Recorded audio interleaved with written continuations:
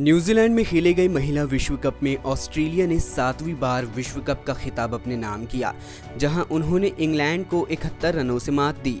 इस मैच में विकेटकीपर बल्लेबाज एलिसा हीली ने ऐतिहासिक 170 रनों की पारी खेली, जो विश्व कप के फाइनल मुकाबले में किसी भी बल्लेबाज द्वारा लगाया गया सबसे बड़ा स्कोर है। उनकी इसी बल्लेबाजी के चलते आज दुनिया भर में उनकी तारीफों के पुल बांधे जा रहे हैं। लेकिन 170 रनों की पारी के अलावा, एलिसा हीली ने इस पूरे टूर्नामेंट में एक ऐसा कीर्तिमान अपने नाम किया है, जो आज तक महिला क्रिकेट में कोई भी अन्य बल्लेबाज नहीं कर पाया।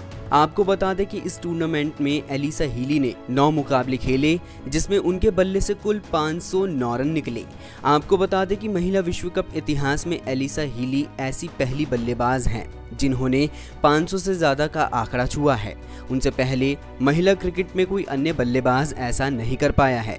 इस मामले में उन्होंने साथी खिलाड़ी और ऑस्ट्रेलिया की दिग्गज बल्लेबाज रचेल हैंस का रिकॉर्ड धराशायी किया, जिन्होंने इसी विश्व कप में चार सौ सत्तानवे रन बनाए और 500 रन बनाने से चूक गईं।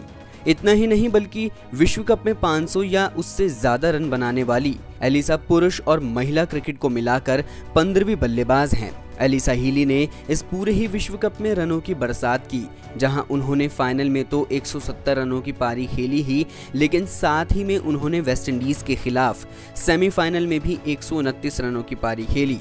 वो इस मुकाम को हासिल कर पाई। बाकी की तमाम खबरों के लिए आप बने रहिए वन इंडिया के साथ।